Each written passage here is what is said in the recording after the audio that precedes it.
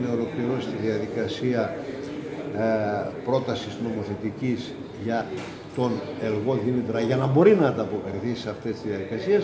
Τη Δευτέρα τη βάζουμε σε διαβούλευση και θα έλεγα ότι σε πολύ σύντομο χρονικό διάστημα θα υπάρξει και μια τέτοια νομοθετική κάλυψη που θα δέσει όλο αυτό το πακέτο. Πότε τη βλέπετε την ψήφιση του συγκεκριμένου νομοσχεδίου και ε, δύο-τρία πράγματα βασικά θα υπηρετήσει. Να σας πω τώρα, είναι δύσκολο να το βλέψω όταν υπάρχουν ιδιαίτερα νομοθετικές εργασίες πάρα πολλές, οι οποίες όχι μόνο ξεκινάνε από τις υποχρεώσεις που έχουμε μετά την ολοκλήρωση της τρίτης αξιολόγησης, αλλά ήδη το Υπουργείο Εργασίας, το Υπουργείο Αγροτικής Ανάπτυξης αυτή την ώρα έχει νομοσχέδιο που περιμένει ώρα με την ώρα να κατατεθεί για ψήφιση στη Βουλή είναι αυτό που αφορά τον τη συνδικαλιστική λειτουργία του αγροτικού χώρου.